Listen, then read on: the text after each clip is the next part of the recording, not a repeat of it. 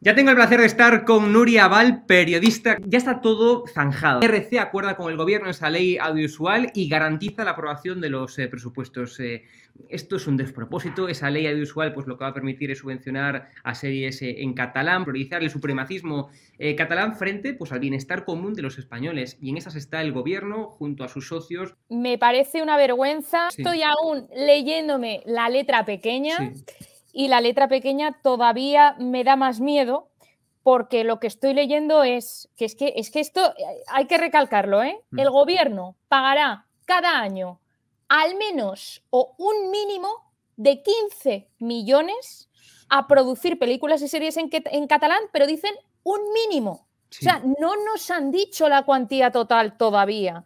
Y una cosa es este fondo de producción y luego estoy leyendo que han aprobado un, otro fondo que tampoco dice la cuantía para doblajes y eh, subtitulado. Entonces, eh, son dos fondos en total que desconocemos la cuantía, que dicen que es, que, es un acuerdo extra presupuestario, que esto quiere decir que no lo van a tener que negociar cada año como los presupuestos generales del Estado, sino que esto ya eh, hasta que dure Sánchez, me imagino. Entonces, me parece una barbaridad lo que, lo que acaban de pactar solo por sacar adelante los presupuestos, pero también la letra pequeña, que es que Sánchez ya sacaba los presupuestos. Lo que han querido hacer es que Esquerra quite las 16 enmiendas en el Senado que le puso la semana pasada para que los apruebe en tiempo informa. Esto quiere decir que el 1 de enero el BOE ya los tenga aprobados. Pero esto qué, qué, qué vergüenza es. Y las, eh, Nuria, y las ayudas a, los damnificados por el volcán de Las Palmas y el resto de promesas que hace Pedro Sánchez, ahí no llega. Es decir, no hay dinero para eso. Pero sin embargo, hay más de 15, mínimo, como tú decías, 15 millones de euros para subvencionar estos chiringuitos eh, supremacistas catalanes, con el único objetivo que tienen que es adoctrinar a la población, sobre todo también a los más pequeños, también tenemos que recordar lo que está ocurriendo en Canet del Mar con ese niño de 5 años y el resto de su familia que están acosando, eh, apedreando, con la permisividad del gobierno y, y, con la aprobación también de los socios de Pedro Sánchez, de la Generalitat en el gobierno sobre Canet están todos callados y la única historia que, te dicen cuando preguntas es que, claro, como la Generalitat, el, Tribunal Supremo dio dos meses a la mm. Generalitat para que cumpla la sentencia de la inversión lingüística, ah, que hasta que no cumplan los dos meses el gobierno no va a intervenir, pero hombre, eh, ustedes ya sabrán si tienen que eh, decirle a la abogacía del Estado la ejecución de sentencia para que cumpla, porque es que tienen a un presidente de la Generalitat diciendo que lo van a desobedecer y que no van a cumplir. Ante eso, nada. Luego sí que le han metido caña, por fin, la oposición en la sesión de control al gobierno a Pedro Sánchez. Me consta que le van a seguir metiendo caña, pero el gobierno se queda en silencio con lo de Canet. Es increíble cuando el presidente de la Generalitat, Peri Aragonés, ya ha dicho que este sábado se va a presentar en una manifestación que hay a favor del catalán. Pero oiga, si le están diciendo los padres que solo quieren que se cumpla la sentencia. Y es tan triste como poner una asignatura más en castellano, solo una. Es que es, una vergüenza. Es increíble, es increíble que por ley en, en, España solamente se tenga que impartir un 25% de clases en español, un 25%. O sea, esto sería, bueno, surrealista, por supuesto, en, yo que sé, en Reino Unido, en países más, evidentemente, más avanzados que la España de Pedro Sánchez. Es decir, sería surrealista pedir que, que en el Reino Unido, por ejemplo, solamente se haga un 25% de clases en inglés. O sea, sería, vamos, es que lo tomarían como cachondeo, pero que en España se permite e incluso una familia que está pidiendo que se cumpla la ley, que se cumpla tan solo eso, por la que, le, bueno, pues, pues acoso, violencia, eh, apedreamiento, señalamiento, etc, etc, etc. Luego también, eh, claro, lo que dices tú es que luego también están las cuotas. Porque las cuotas aquí hay que tener eh, que están pactando o van a pactar. Pere Aragones presentará en enero un pacto mm. por la lengua en el que ya nos hemos enterado que va a poner eh, como acciones de control para el castellano. O sea, lo que están haciendo en Canet de vigilar a este niño o vigilar a ver quién habla qué, también está sucediendo en el País Vasco, que Bildu ya ha ido más allá, proponiendo al PNV que por favor se elimine el castellano. Esto es un atropello, no, esto ya se pasa de castaño oscuro. Si el PNV acepta al año que viene el pacto este por la educación que quieren, mm, eliminará el castellano. Bueno, ¿y esto desde el gobierno cómo se mira? Pues dice, ah, nada, todo se deja pasar, todo se deja pasar. Es alucinante. Y lo que también es alucinante, es una barbaridad, es lo que permitió y va a permitir Merichel Batet, que es eh, la presidenta del Congreso, la tercera autoridad de España, socialista por convicción y devoción, pues va a permitir una charla para homenajear a esos jóvenes violentos que atentaron en ese, en ese meeting de Vox del año 2019 contra las fuerzas y cuerpos de seguridad del Estado. Seis policías heridos, uno de ellos de máxima eh, gravedad. Pues eso van a permitir eh, en, el, en, el, Congreso. O sea, es, increíble. Aquí hay muchísima tela que cortar y mucho que destripar porque va más allá de eso. Eh, yo me enteré porque yo estoy en redes sociales de Podemos, además, de las, además de las oficiales, ¿vale? Porque esto es un cachondeo, entonces hay que estar en todo para ojo a visor. Y eh, me mandan desde el partido un cartel blanqueado con la diosa de la justicia eh, amordazada, que esa es otra diciendo, bueno, que iban a hablar de esto en unas charlas en el Congreso y que para eso habían traído invitados de lujo. Yo cuando veo eso digo, madre mía, me meto en las redes y efectivamente amplían eso diciendo que va contra la policía, que va, eh, se, atacan al Poder Judicial y dicen que es que eh, se meten contra los jueces y dicen que, es contra la izquierda, ¿vale? Las mm. sentencias de estas condenatorias a Podemos, pues que toda la judicatura va contra la izquierda. Bueno, a partir de ahí digo, no puede ser que un acto oficial eh, se celebre esto en el Congreso, que hayan dado luz verde, esto es un atropello, pregunto, y todavía es peor la historia.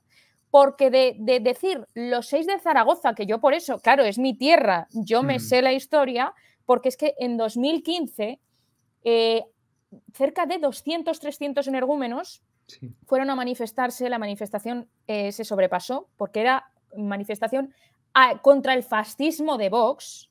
Esto ya está apuntando a un determinado partido, ya se podían imaginar las intenciones que tenían y eh, se manifiestan ahí y bueno, acabó con eh, ladrillazos. Si la policía no lo evita, tenemos ahí un Vallecas. Entonces, eh, la policía detuvo a estos seis usodichos Claro, en el juicio, ¿qué pasa? El juicio se alarga porque eh, solo un policía puede eh, identificar a uno de estos seis, diciendo que, ese señor le había agredido, pero el resto no fueron identificables ni por las cámaras que allí se encontraban que los abogados de, dichos señores pues lo pidieron, ¿no? El, auto, si lo lees, dice que no se, puede, no se puede determinar a estas personas. Entonces, ¿qué prevalece aquí? La autoridad, o sea, el, testimonio del policía que se ciñe a la ley como es su deber. Esto, la letra pequeña, es la que quiere eliminar en la reforma nueva esta de la ley Mordaza que quiere sacar adelante el gobierno de coalición, PSOE y Podemos. A raíz de esto, Lleva también al Congreso a Isa Serra, condenada a 19 años de prisión e inhabilitación por eh, pegar a un, policía en una manifestación en 2014, si no me equivoco. Y eh, también lleva a mi querido amigo, entre comillas, al concejal eh, Alberto Cubero. Este señor va a ser juzgado por un delito de odio contra Vox porque en un pleno de Zaragoza pues se dirigió al concejal Julio Calvo de Vox diciendo que, bueno, que casi como que ojalá os pase como lo de Vallecas en toda España. ¿Esto qué pasa? Pues traer esta figura al Congreso, además de, que me repugna, eh, dice que su caso, que también es un atropello de los tribunales. Y encima dice en un tuit que no lo ha borrado, que yo lo he puesto, diciendo como que ya, ya la sentencia ya está, ya está dada. Otra vez metiéndose con los jueces. Ese es el tema. De hecho, tenemos ahí una reta hila. Pablo Echenique, el, portavoz de, Podemos en el Congreso, publicó. El que los invita. Efectivamente, publicó un tuit diciendo que la charla es muy legítima porque el juez es un juez muy sectario, muy ideológico, es un sinvergüenza. Entonces, claro, hay que ir en contra de ese juez. Ellos creen en la justicia de Venezuela, en la justicia de Cuba, en esa justicia parcial, en esa justicia sometida. Ese es el problema. Que si les damos alas y la oposición pasa de largo esto, lo que quieren hacer es atentar contra los pilares del Estado. y ahora le toca al Poder Judicial. Y los jueces, no ya con Pablo Iglesias, que sí que lo hicieron y sacaron comunicados defendiéndose, sino también, pues, por ejemplo, contra lo de Alberto Rodríguez, que también lo han puesto ahí en un pedestal, acusando a la ministra Belarra, una ministra, acusando, al, acusando al Poder Judicial de prevaricación, no lo digo yo, lo dice ella en un tuit. O sea, es lo más gordo que hemos vivido en democracia porque quieren atentar contra uno de los pilares Y si esto se deja y se permite, pues arrasan como un rodillo, como han entrado allí en el Congreso y ya está, que no cabe ninguna que les han tenido que llamar la atención porque no se aprueba ninguna propuesta de la, de la oposición. Es un rodillo parlamentario que hacen y no se puede legislar salvo lo que lo digan ellos. Y no te pierdas, eh, Nuria, porque el Ejecutivo Social Comunista de Pedro Sánchez pues, ha subvencionado con 700.000 euros en, 15, en tan solo 15 meses, regaron, insisto, con 700.000 euros a la empresa Industrias Plásticas Playball SL. Y preguntan a la gente, ¿qué es esto? Bueno, pues es la mercantil que compró o que se apoderó, digamos, de eh, Playball SA, cuyo administrador único y apoderado pues sigue siendo así lo dice el registro en, mercantil, pues dice que es Pedro Sánchez Fernández y Magdalena Pérez Castejón. Por los apellidos ustedes se podrán dar cuenta que son los padres de, Pedro Sánchez. Yo desconocía este caso, la verdad, eh, mm. sé que Ciudadanos ha pedido que se esclarezca y ha pedido eh, algún tipo de, declaración por parte del gobierno. Sé que el gobierno no ha abierto la, boca todavía de este tema. Que, que claro, es que que a mí no me extraña, que somos, eh, este es el gobierno más numeroso, con veintitantos ministerios, con la que está cayendo. Se habló de que lo, podría reducir y en esa remodelación que tuvo oportunidad no lo ha hecho por, fíjese, usted, por no eliminar la cuota de sus socios, que si no pueden aquí acabar con el gobierno y romperlo. Por el que dirán o por lo que sea, cada vez hay más asesores a dedo. Sí cada vez hay menos transparencia. Le han llamado la atención varias veces a Pedro Sánchez y al gobierno por eh, eh, la transparencia. Se tiene que pronunciar todavía sobre muchísimas cosas que le hemos preguntado a través del portal de transparencia y no lo ha hecho.